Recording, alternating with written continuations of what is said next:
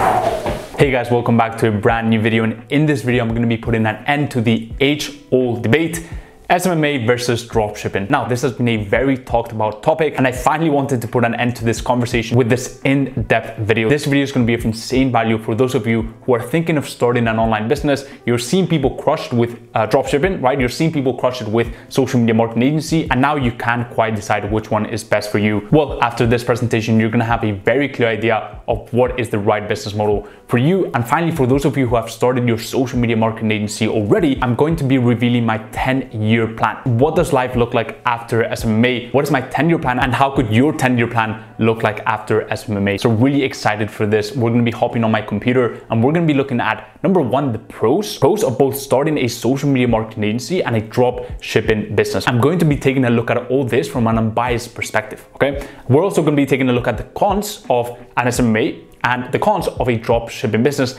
And finally, I'm going to be giving you my take, my personal opinion, and the true opportunity that lies ahead in the online business space. Two things you need to know about this presentation before we start is number one, I could not care less about which one you pick. Honestly, if you don't pick SMA, great, because then I have uh, less competition. Obviously, I'm just joking, but I really want you guys to understand that I'm not vouching for a specific model. This is just straight facts. And number two is I'm never going to sell the idea that making money online or, you know, starting a social media marketing agency or starting a dropshipping business or an Amazon FBA uh, business, whatever it is, I'm never gonna sell the idea that you can get rich quick, and I'm never gonna sell the idea that it's easy to start making money with them. And so if that is what you're expecting from these business models, then you can probably click away. Now, it is simple, but it's not easy. And there's definitely business models out there like SMA, for example, that are much more simple to get started than, for example, real estate. No one can argue about that, but being successful with SMA and being successful in anything in life really takes hard work, takes dedication, and it takes following a narrow path, usually laid down by someone else, and following that narrow path step by step. So without further ado, let's get right into it.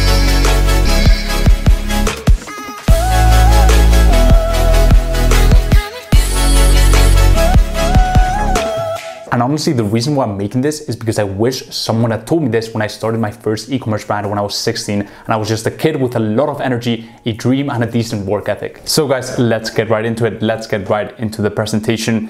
SMMA versus dropshipping. Let's get started. So finally putting an end to the age-old debate using an unbiased approach. And that is one of the things that I want you guys to keep in mind while watching this video. I don't really have a preference, you know, I don't want you guys to go ahead and pick SMA. I, really don't have any, you know, any benefit. Um, I, I don't really benefit from you guys picking SMA.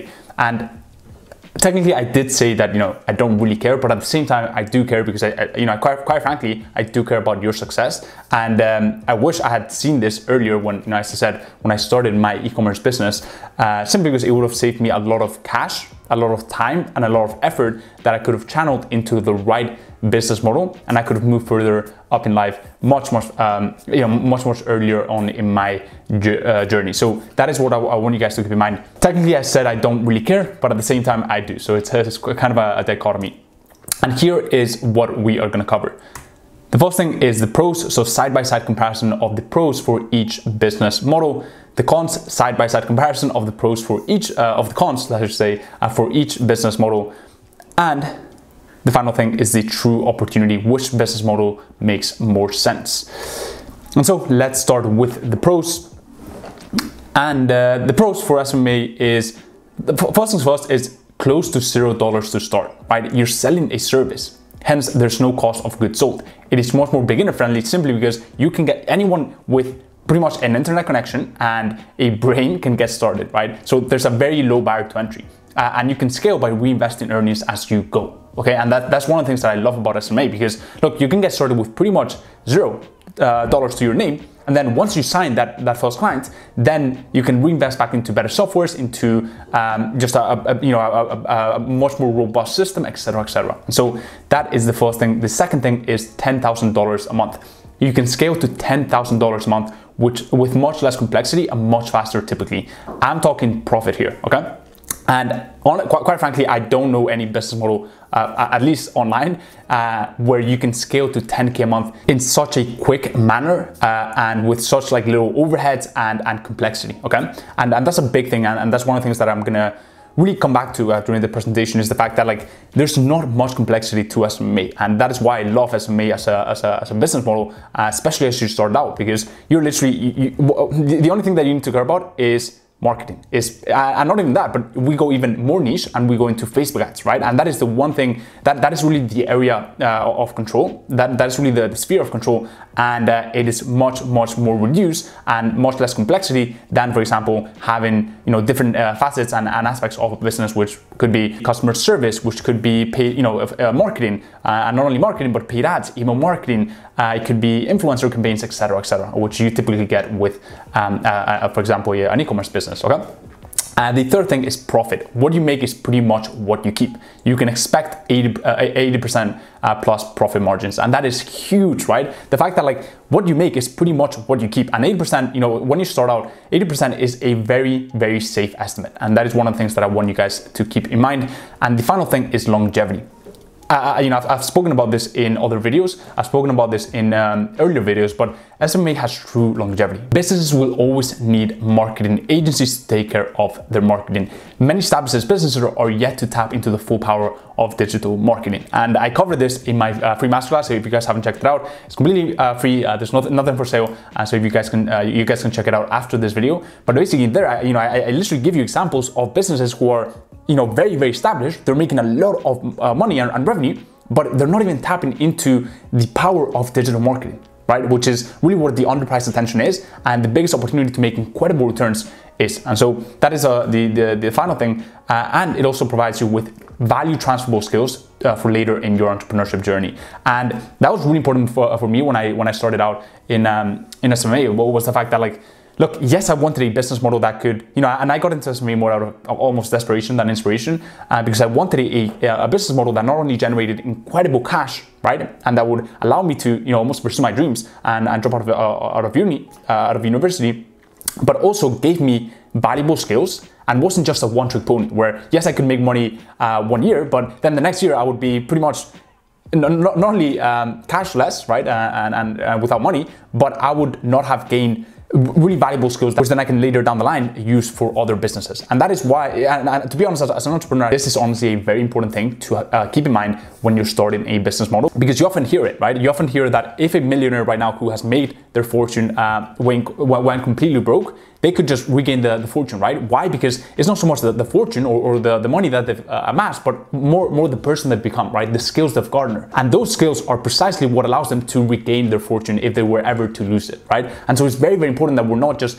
jumping into, into something that, that sure, is gonna make us money, but it's not really gonna allow us to grow as a person and develop our skills as, uh, as an entrepreneur. So that was really important for me. And, and you know, I, I love that SMA actually gives you this, uh, this transferable skills like marketing, sales, uh, team management, um, team communication, client communication, and etc. Uh, etc. Et I could uh, I could go on for for a while now. Now let's take a look at dropshipping. There is no doubt that dropshipping is much more scalable, right? It has more scalability potential because you can duplicate product, and that is one of the kind of drawbacks from SMA was is the fact that yes, you've got insane profit margins. Yes, it's quite simple to get to that 10k mark right because you only need you know pretty much you, only need five uh, clients paying you 2k a month which isn't you know it's not huge right uh, but at the same time as a service, you know, as a B2B service-based business model, it's not as scalable. You can't really scale flesh, right? Uh, you can't really scale human, but you can duplicate a product. And the second thing is potential to build a brand. You can build a brand that could grow into something bigger. And I'll talk about this uh, briefly uh, in the next slide. The way I see most um, people that jump into uh, dropshipping go wrong is that they focus way too much on cashing in and you know having this winning product instead of actually building a brand that has longevity and that can become this in, in, just insane monster, right? Uh, that can actually add value to people, right? And so you know, I'm not blaming anyone if you're jumping into dropshipping just to make money. All power to you for sure. But most people that jump into dropshipping, they, they try to find this winning product that doesn't really add value to people and that that really doesn't have longevity, right? It might be hot for six months, but then you're on to the, the next product, right? And testing, you know, a bunch of different products, etc., etc. And I'll talk about this in, in, just a second, but that could have worked four or five years ago, or, or even you know two years ago. Um, but now it's all about the customer uh, experience, right? People want to connect to brands, right? And nowadays it's not so much having a winning product, but having an incredible brand experience, right? And, brand congruence across the whole customer journey. And this is something that, you know, for our e-commerce clients, we know a lot about, right? Because we remind them of this every single day, right? And we want to make sure that we have an incredible customer journey because, as I said, customer experience is going to be the most valued, uh, KPI in 2020 uh, and moving forward for uh, e-commerce businesses. So that those are the pros. Uh, now onto the cons. The cons of SMMA is, as I said, is, is, is just simply not uh, as scalable as uh, dropshipping or e-commerce. Uh, above the 40 to 50k month profit mark, uh, you really have to put in place more layers uh, if you want to scale, which can cut into the profit margin. Okay, and you know increases uh, as a result, it increases complexity. At around 10k, even 20k a month, uh, you pretty much just need your the, the person that your, your team member who delivers the service and yourself, and you can build a widely profitable agency that way. Um, but as you as you continue to scale, as you continue to take on more clients, etc., etc., you're gonna need more people in the team. Uh, simply because again, it's not it's not as yes, you can get your agency uh, to be very productized and very systemized, and you can put you know you can automate it to a very large extent, uh, extent which is what I've done. But there's there's always going to be that very human element, and that human element is very necessary. Okay, at the end of the day, you have to realize that a B2B service, right, and a service-based business is a lot about the human relationship and the interpersonal side of things. Uh, and so obviously you're gonna have to bring in more uh, A players into the team to take care of that side of, uh, of the business. Um, the, the next thing, the cons of dropshipping um, is number one, I truly believe that it is a dying business model. Long shipping times, and, and there's really three pillars to this, right? Number one is uh, long shipping times. Number two is Facebook's resistance against dropshipping advertisers, and this has been widespread, especially as of late. They are really cracking down on dropshipping stores simply because it, it, it's not really a good experience for the customer, right? And if you guys don't know, what Facebook does is when someone buys a product from a Facebook ad, it will actually send, uh, send them a customer satisfaction survey, okay? And on that survey, there will, there will be questions like, are you satisfied with the product? How's the shipping time? Was the customer service good, etc., etc. And if you get uh, enough bad scores, your account is going to get shut down, or if it doesn't get shut down, it's going to get um, uh, restricted um, reach. Okay, and it is not what you want. Okay, and it, it, there's really no way to compete against other brands if you've got restricted reach. And that's really just the truth, right? If if if uh, your competitor is paying, if your competitor has a CPM of let's just say five dollars, and you've got a CPM of fifteen dollars, okay, there's really no way you can compete when it comes to Facebook ads. And unfortunately, for most uh, dropshipping brands, because you haven't built that brand, most of the traffic comes from Facebook ads and paid advertising, okay? So that is the second thing. And the final thing is poor customer experience. It's killing many dropshipping stores. People, you know, as I said, people nowadays, especially in 2020, people are seeking that human connection, that human element, right? That human touch. And and the brands that are, are really winning, I'm talking Gymshark, I'm talking uh, SoundCloud, uh, SoundCloud, I'm talking uh, Take Care of, they have that human element. In fact,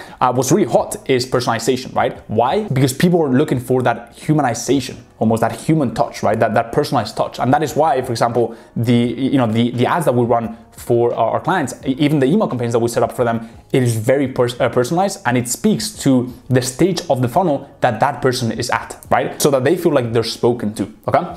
And so that is, um, that is what I would say on customer experience. Uh, and so what I would say is that is dropshipping. Now, I'm not saying that is e-commerce, right? I truly believe e-commerce is here to stay. In fact, it is, you know, right now it is booming. Uh, and in fact, e-commerce is our niche, right? I live, breathe, and sleep e-commerce pretty much uh, and uh, i love learning about branding building a brand online etc etc and that is what we do for our clients so i truly truly believe in the power of e-commerce um, and I'm, I'm, very bullish on it it's just dropshipping right and i want you guys to to really differentiate between the two there, there's a big difference between the two so that is the first thing. The second thing is many moving parts.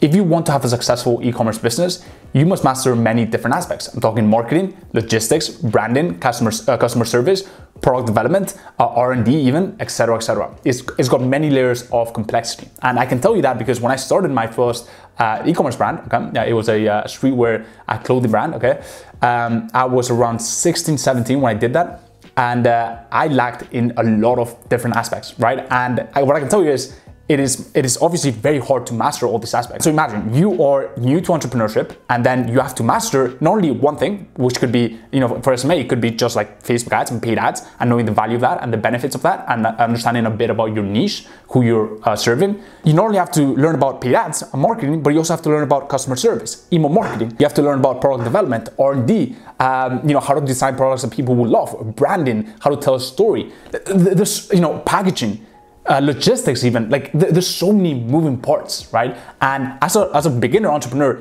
that is just a lot to take in right? And yes you might have you, you may have a great product but there's going to be different areas of your e-commerce uh, business that is going to lack. I'm not saying don't get into a business model because you don't know something right? In, in fact I'm, I'm, a very very I'm a, I'm a firm believer in just jumping straight into it and learning as you go. Honestly that is one of the ideas that i resonate with the most and i've applied it all across my life up, to this point. Um, but it is much more overwhelming. It's gonna be very hard for you to get an edge over other e-commerce brands who have been in the space for a while now, okay? And they've got even maybe a team that, that you know, is, is literally dedicated for each one of those areas, okay? Uh, and, and you're competing against these people. So I'm not saying you can't be successful with it. I'm just saying it, it's, it's just honestly almost shooting yourself in the foot, okay? Uh, so that is the second thing. Uh, the third thing is low profit margins. Most e-commerce stores take uh, home 30% or less in profit after cost of goods sold, staff, etc., etc. And look, if you're if you're starting out, um, I'm, I'm most entrepreneurs who start out in business, uh, the reason why they start out in, in, business is for the money, right? And honestly, that is just a reality. Uh, I'm not saying the main motivation is the money, but one of the main drivers is having good cash flow, right? To maybe be able to move out of their uh, parents' house or drop out of uni or pursue their dreams or, um, you know, almost be validated by, by society almost uh, and feel like they have a successful business, right? But I truly believe that starting an e-commerce brand, you have to be willing to not, not so much care about the money, right? Uh, especially at first, because an e-commerce brand and building like a building an actual brand that adds value to people you may not be very profitable, especially at the start, right? Because you, you're just really investing into maybe product, into customer service. And so you're not really optimizing for, for profit. The problem comes when most people go into this um, business model with the, the, the sole goal of making money, right? And honestly, this is just my opinion, right? I'm not saying it's right. I'm not saying it's, it's, it's wrong. And so long story short, in my opinion, for e-commerce, you have to be, you have to be willing to not really have profit in mind, especially at the start. And I know for a fact that, you know, when I start my, my e-commerce business, I'm not going to be so much optimizing for profit. I'm building my passion project, right? Because I know it will pay off in the future. And so that, that's how I would approach e-commerce and, and this type of business model. This is the cold hard truth about uh, dropshipping. You have to have some sort of uh, initial investment uh, into it, right? Uh, you can't just, you know, for example, with SMA, you can get started with pretty much zero, but with dropshipping, there's going to be a cost attached to it because you're going to have to buy products. You're going to have to invest into ad advertising for uh, to actually get sales, and so you might have a cost of, you know, fifteen hundred, even two thousand dollars um, on the on the on the low end, right? So that is dropshipping, and here is the true opportunity. So I want you guys to imagine this scenario You've got here a semi-successful Shopify store making you maybe at 10k a month. By the way, not such a simple task, okay? Uh, you've got a lot of expenses and moving parts, and you're taking home $3,000 a month in profit. Okay, so you've got a lot of expenses. You you know buying a bunch of product. You've got you, you maybe have uh, customer service. Uh, you maybe have you know you're running uh, obviously advertising costs uh, with uh, Facebook ads, etc., etc uh, you know, taking into account that they haven't banned your account because uh, you're building a, a dropshipping business. But let's just imagine that we're not doing dropshipping, okay? So let's just completely forget about dropshipping. Here we've got an e-commerce store, okay? Not so much dropshipping, but an e-commerce store. Now, imagine this. These are not your Shopify stores, but these are already successful Shopify stores out there, okay? So we've got this one, this one, this one, boom, boom, and we basically have a whole host of successful Shopify uh, stores out there already, okay? That already have their customer service, they're already paying for their products, right? They're already paying for their own expenses, right? So they've already done the all the dirty work, I would say, and they're already managing to pull in good revenue. I'm talking maybe 50k uh, plus uh, per month, okay? So for example, we've got a successful Shopify store here making around $190,000 a month. Um, and that is revenue, by the way. And they need digital marketing. They haven't even tapped into Facebook ads. They're making 190K uh, a month, but that's mainly through, let's just say influencer marketing. Okay. They're, they're running some influencer campaign, uh, campaigns, uh, uh you know, a few shout outs here and there from big accounts, and they're taking that home. Then we've got a second Shopify store. By the way, I apologize for the same picture every time. Um, but yeah, I mean, let's just imagine that they're selling uh, other products that are not shoes. Okay, but uh, we've got another successful Shopify store making around eighty thousand uh, dollars per month. Okay, and they also need digital marketing. Maybe uh, these guys have uh, just on, honestly just an incredible organic uh, audience, right? So you know maybe the, the product is so good that they have this you know whole you know this host of brand evangelists that just rave about the product, and honestly that that's a really sweet spot to be in And uh, now they, they just know that they can turbocharge that with paid ads, with Facebook ads, and put it in front of a, an audience uh, and uh, you know show them this incredible testimonial, show them this raving fans that are also going to show up in the in the comments uh, for them, uh, and uh, and really turbocharge their growth that way. And the final thing is we've got another successful Shopify store uh, making around $230,000 a month uh, revenue and they need digital marketing. Maybe these guys have been around for a while. Maybe uh, they were tapping into, uh, you know, they, they're, they're really big in retail, right? Maybe they're, they're really big in retail. Uh, maybe they are you know, maybe they, they have uh, quite a few uh, wholesale contracts um, and they are in some reputable stores uh, like uh, Nordstrom, uh, okay, in the, in the US.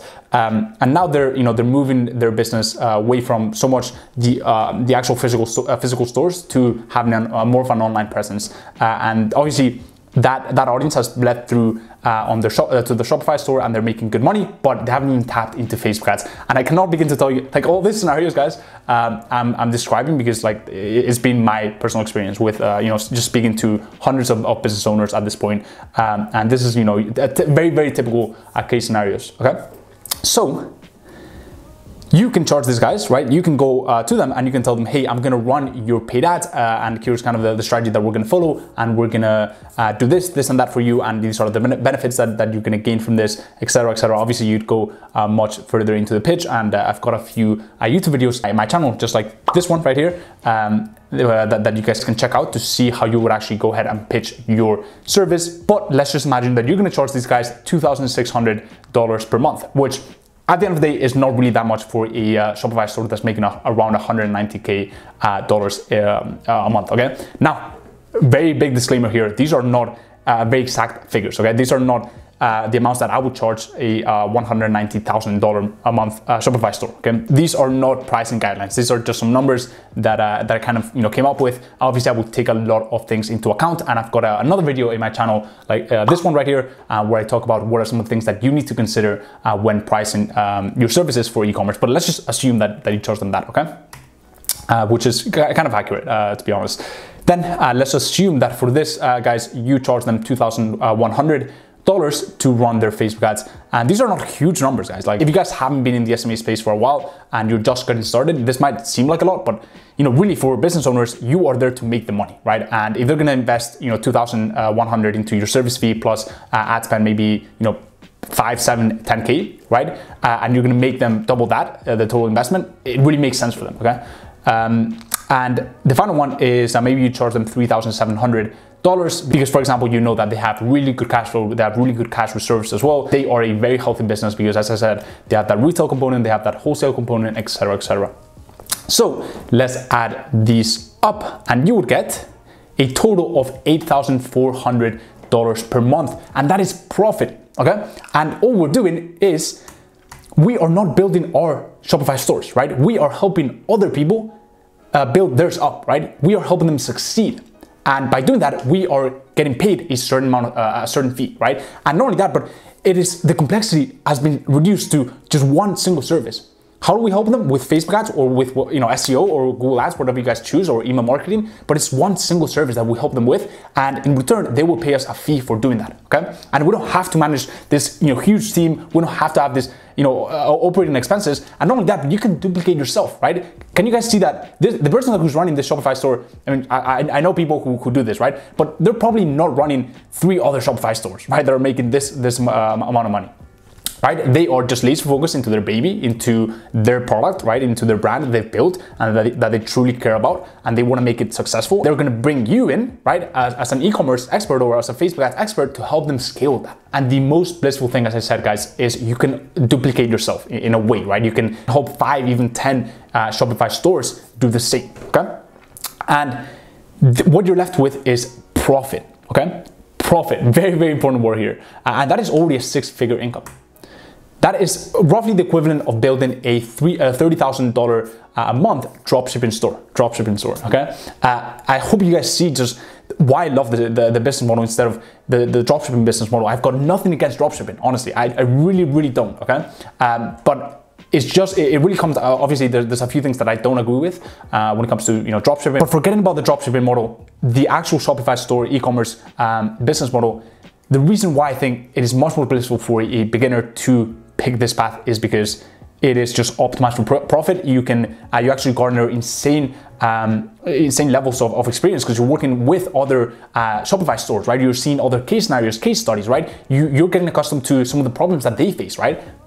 And so that actually brings me to the final point, uh, which is in a gold rush, we sell shovels. Okay. In a gold rush, we sell shovels. And what that means is the people that truly profit uh, from, for example, the, the growth of e-commerce is not so much, yeah, I mean, yes, you can build a widely successful uh, e-commerce store. And honestly, you know, I've got huge respect for uh, for my clients. They've got widely successful Shopify stores and e-commerce stores, and they've built incredible brands, right? But we, as especially as beginner entrepreneurs, if that's the case for you, maybe you are a seasoned entrepreneur, but as beginner entrepreneurs who are looking to uh, start maybe their first business or they're looking into other financial vehicles, what do we want to do in the gold rush of e-commerce and selling, selling stuff online? We don't want to go in and dig in uh, and dig up the gold, right? We want to sell shovels and we want to help people, right? We want to help people find gold. And what I would say also on, on that point is that this is a very fulfilling thing to do, right? To help people find their success, right? And uh, it's, it's, it's, uh, something that, that a lot of people don't talk about, but I love the fact that I can help other e-commerce stores,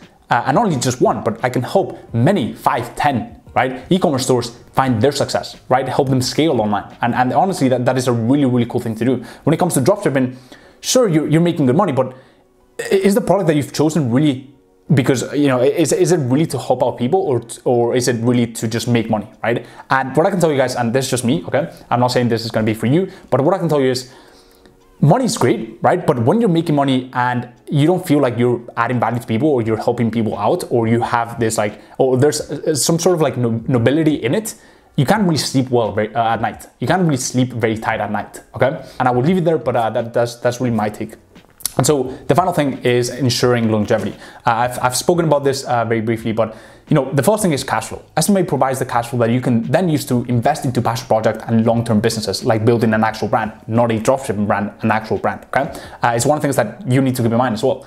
You know, by, by doing this, by taking this route of helping other e-commerce businesses scale and find their own success, and having just insane profit margins, we can actually build a good pile of cash uh, and, and have incredible cash flow that then you can use to reinvest back into uh, a business or an actual brand or a passion project. But not only that, but as I said, by helping other e-commerce brands succeed, you get to understand the e-commerce business model inside out from brands playing at a high level. And you can, uh, and not only that, but also make incredible connections. Uh, you build your network up, right? Almost on a daily basis, I'm speaking to uh, business owners who I admire almost, right? I don't put them on a pedestal because I, I, I, never like to do that, but it's just a level of respect that I have for them. Uh, and being able to connect with them and have them in my network is a very valuable thing to do, okay? Um, and, uh, and you can transfer these skills later down the line to your own brands. Okay, and that is honestly, in my opinion, that is just a much better way to go about things because not only are you generating incredible cash, as I said, but you're also garnering these skills right? This, you know, sales, marketing, you know, helping out the top, you know, the, the leading e-commerce brands, if that's the case for you, okay? Helping out the, the leading e-commerce brands, seeing, um, you know, seeing what works, what doesn't, right? And by helping them, by adding value to them, you're helping yourself, right? And it's almost this perpetual cycle um, where the e-commerce industry just gets better and better if you generally add value to them. Uh, okay, so that is that for ensuring longevity, and uh, I think we are done. So guys, that is it for today's video. Hope you, number one, uh, got to see why I think, in my opinion, SMA is superior to dropshipping in many ways in, and, and in, in, various situations, right? There are clearly scenarios where it's not gonna be, right? But in most scenarios and where most people uh, and most viewers of this channel are at, I personally think that SMA is the way to go. Um, and uh, hopefully you've seen uh, why that is. If you've already picked social media marketing agency, hopefully you've seen kind of the, the way I approach my niche, uh, e-commerce niche, um, and, and honestly why, why I'm just in love with it and I'm very passionate about it.